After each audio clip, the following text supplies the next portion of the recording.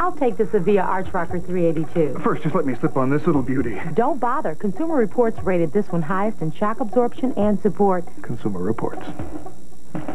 It's the magazine that arms you with brand names, model numbers, facts, and figures to make smart buys every day. So you need to read it every month. Your subscription's just a toll-free phone call away. Subscribe and get 12 issues, including the April Auto issue.